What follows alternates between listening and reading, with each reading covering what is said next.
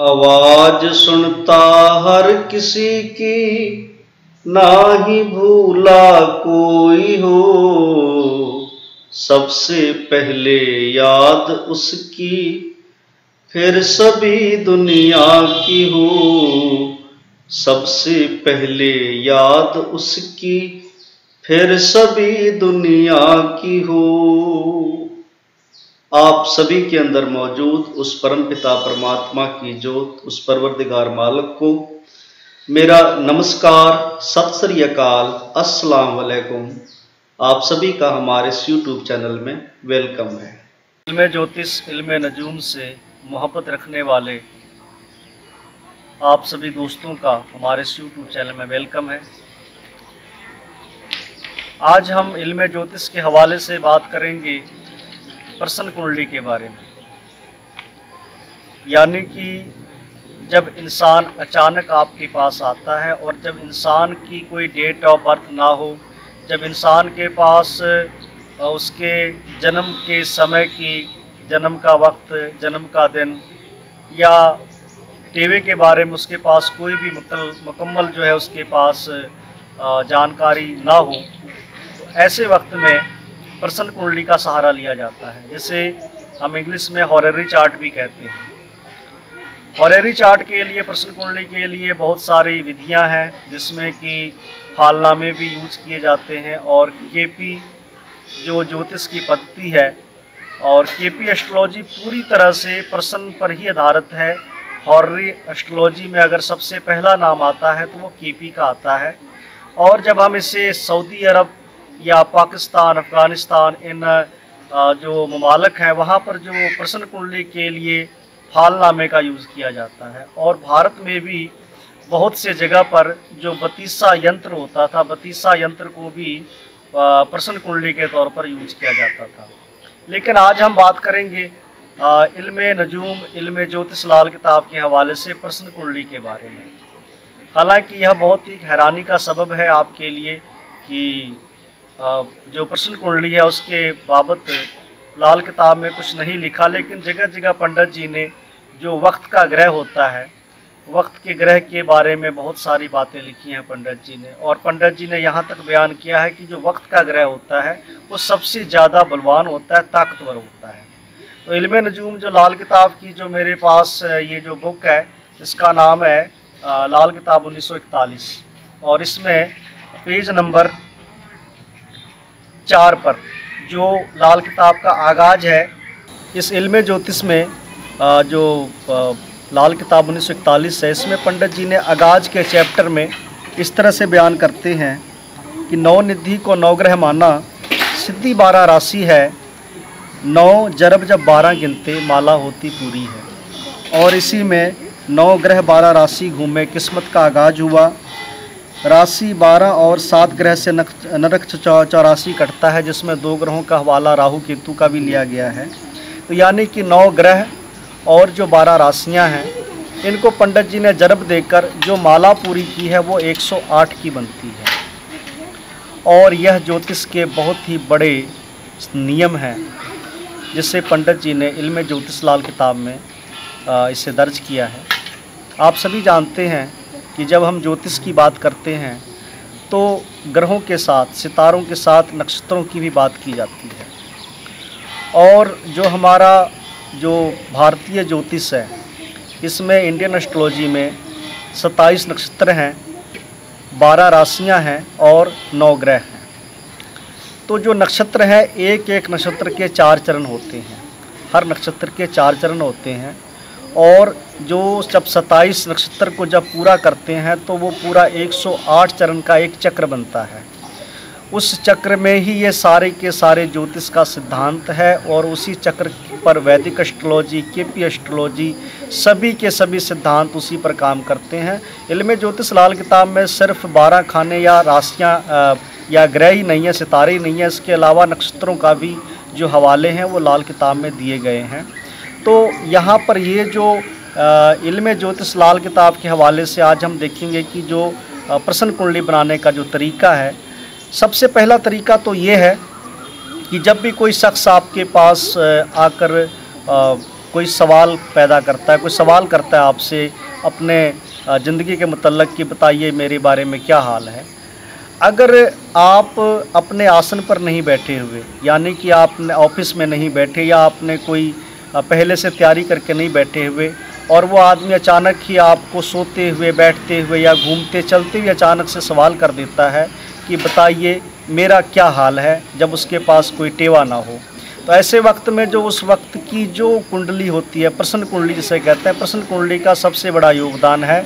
जैसे कि अभी इस वक्त अगर मुझसे कोई सवाल करता है तो इस वक्त की जो कुंडली है वो धनु राशि की कुंडली चल रही है जिसमें कि शनि लगन में है सूरज चंद्रमा जो है वो सातवें घर में है बुध राहु आठ है शुक्र नौ है बृहस्पति ग्यारहवें घर में है और मंगल केतु जो है दूसरे घर में है। यानी कि ऐसा इंसान जो है आ, वो परेशानियों में इस प्रकार है कि वो अपने जो घर का मुखिया है घर की सारी प्रॉब्लम है सरकारी प्रॉब्लम भी समस्याएँ भी आ रही हैं घर में झगड़ा क्लेश भी रहता है और सबसे बड़ी प्रॉब्लम है वो गृहस्थी की। यहाँ में जो सबसे जो नीच के ग्रह हैं, वो हमें दिख रहे हैं शुक्र नौ में और राहु आठ में और जो है सूर्य चंद्रमा की युति जो सप्तम भाव में बन रही है, शनि लगन में बैठा हुआ है। तो हम जो यहाँ पे सबसे जो प्रॉब्लम हमने डिटेक्ट करनी है कि जो सबसे नीच ग्रह है, जो सबसे जिस ग्रह की तासीर जो है वो खानों के हिसाब से, राष्ट्रों के हिसाब से, जो ग्रह सबसे नीच बैठा होगा, वही इंसान की प्रॉब्लम होगी और उसी में इंसान उसी प्रॉब्लम में मुबतला होगा। तो ये जो तरीका है, ये पहला तरीका, इस तरीके को मैंने कई बार बाखूबी यूज़ करता हूँ और कई बार तो इससे आदमी की पूरी की पूरी कुंडली ही निकल आती है।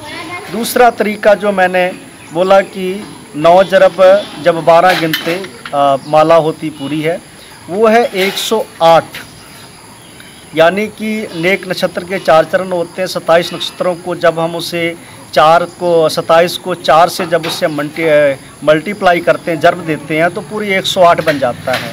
और एक राशि में नौ चरण होते हैं, बारह राशियों में मिला के ये पूरे 108 बन जाते हैं। तो इसका तरीका क्या है? प्रश्न कुंडली बनाने का इल्म ज्योतिष लाल किताब के हवाले से। इसकी जो सारी प्रिडिक्शन होगी, जो उपाय होंगे, वो सभी के सभी लाल किताब के हवाले से होंगे। मैंने इस पद्धति को मेरे दिमाग में वैसे ये वैदिक में भी मुझे बाद में पता लगा यूज़ की जाती है। लेकिन इससे पहले मैंने मेरे दिमाग में इस किताब को पढ़ने के बाद ये ख्याल पैदा हुआ और इस मैंने तरीके को आज मैं तीन साल से यूज़ कर रहा हूँ और जहाँ तक मैं बता देना चाहता हूँ कि दुनियावी हिसाब किताब है कोई दावा खुदाई नहीं। मैं अपने आप को कोई आ, उसका जो है दूत या अपने आप को भगवान के बराबरी या शरीक होने का मैं दावा नहीं करता, क्योंकि हम खुद भी हाड़ मास के पुतले इंसान हैं। मैं अपने इंसानी दावे के साथ कह सकता हूँ कि तकरीबन 95 परसेंट, पाँच परसेंट मैं उस परमात्मा पे छोड़ता हूँ। नाइन्टी फाइव परसेंट जो है वो रिज़ल्ट हैं, वो हमेशा ही गुड आए। और मेरे मन मुताबिक जो परेशानियाँ थी, जो प्रॉब्लम थी, वो बिल्कुल प्रसन्न कुंडली में उसी टाइम हमें मिल गए। तो इसका तरीका यह है कि जब भी कोई शख्स आकर आप से, अगर आप अपनी गद्दी पे बैठे हुए आसन पे बैठे हो, और कोई आदमी आके ये शख्स आपसे सवाल करता है कि मेरे पास ना तो कुंडली है, ना जन्म तिथि है, कुछ भी नहीं है, मैं बहुत परेशान हूँ, आप बताएँ कि इसका हल क्या है? तो हमने जो हल देखना वो इल्म ज्योतिष के हवाले से ही देखना है। तो इसके लिए तरीका ये है कि हम इस इंसान से 108 नंबर के नीचे नीचे 108 से नीचे नीचे हमने कोई भी नंबर पूछना है। कोई भी हिंसा हमने उससे पूछना है तो वो 108 के नीचे नीचे, एक से लेकर 108 के अंदर होना चाहिए। अब फ़र्ज़ करें, वो इंसान कहता है कि मैंने अपने मन में जो नंबर नियत किया है, वो 28 है 28 है। अब 28 में से हमने लगन निकालना है। लगन निकालने का तरीका यह है, उसे मैंने आपने बकायदा आप वीडियो के स्क्रीन साइड में देख सकते हैं, मैंने उसे तरीक़ों को बताया हुआ है। तो उसमें आपने क्या करना है कि आप सभी जानते हैं कि नौ चरण होते हैं एक राशि में। तो हमने जो अट्ठाईसवां है, नौ तिया सत्ताईस, यानी कि तीन लगन पार हो गए। अट्ठाईसवां जो है, वो कर्क लगन आ गया। तो अभी हमने कर्क लगन की कुंडली बना लेनी है और कर्क लगन की कुंडली में जो जो ग्रह जहाँ बैठे होंगे, उसे वहाँ पर हमने बैठा देना है। जब हम कर्क लगन की कुंडली बनाते हैं तो सूरज और जो चंद्रमा है, ये आपके बारहवें घर में, बुध राहु लगन में और जो शुक्र है, वो आपका तीसरे घर में और इसी प्रकार से बाकी के बाकी ग्रह घूम जाते हैं।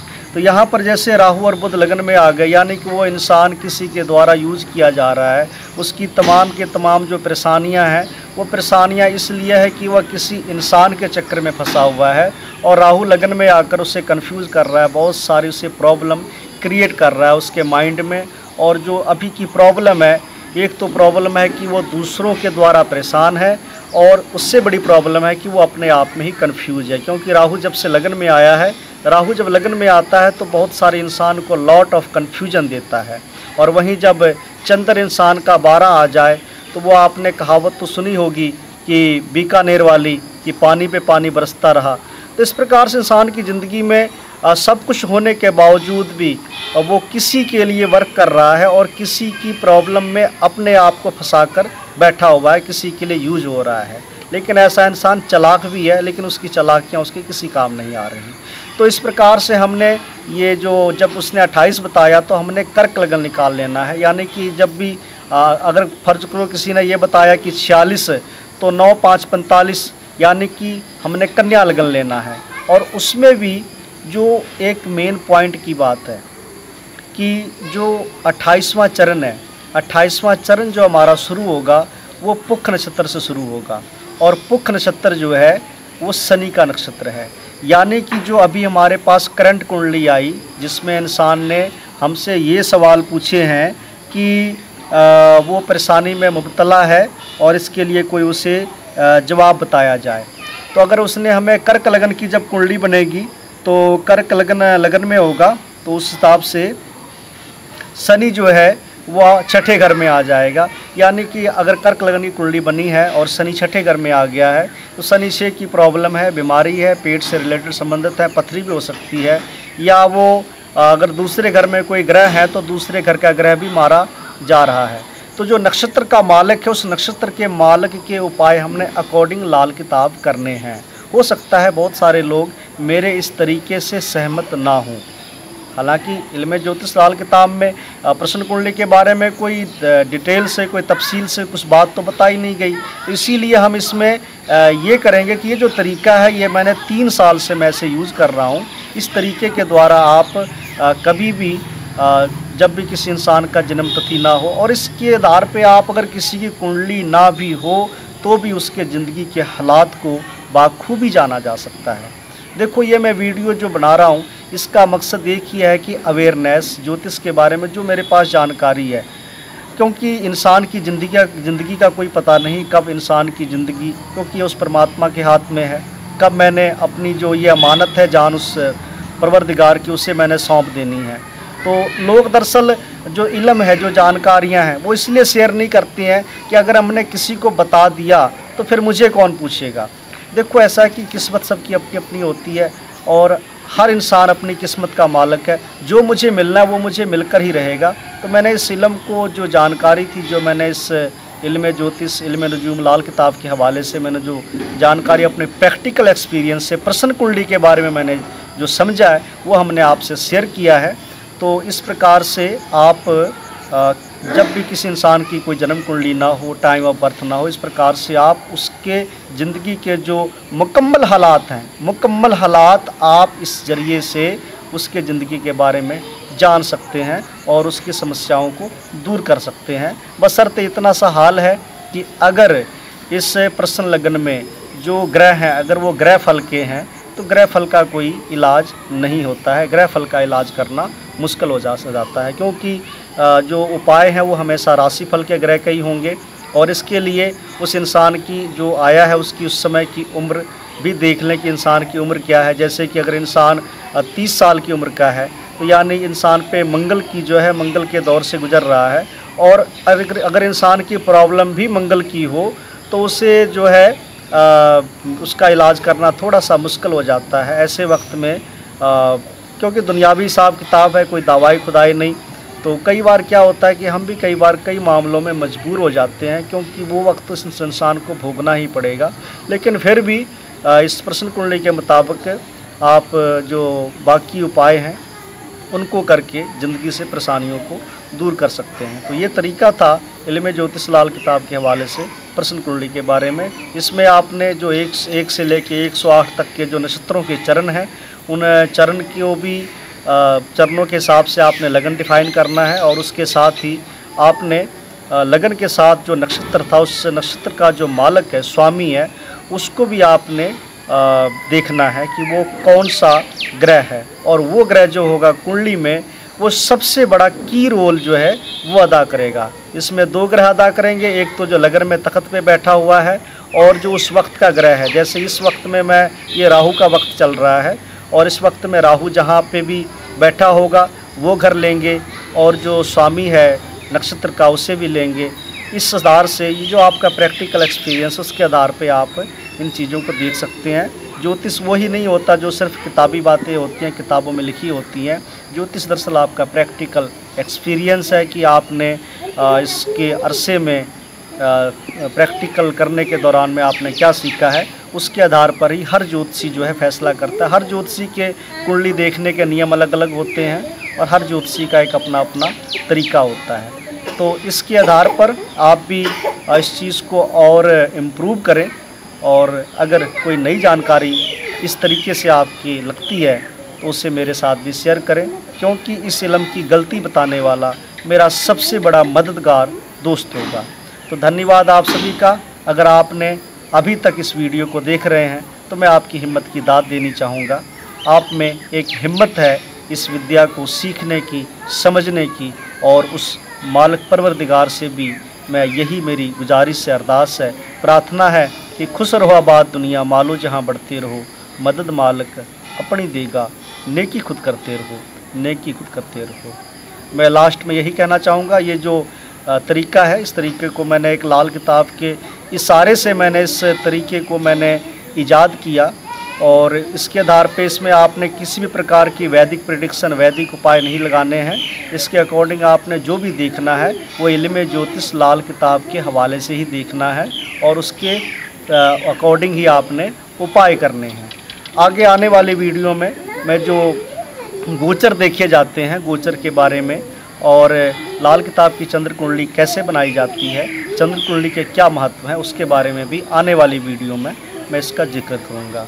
आप सभी ने जो टाइम दिया है, उस टाइम के लिए मैं आप सभी का दिल से शुक्रिया अदा करता हूँ। धन्यवाद।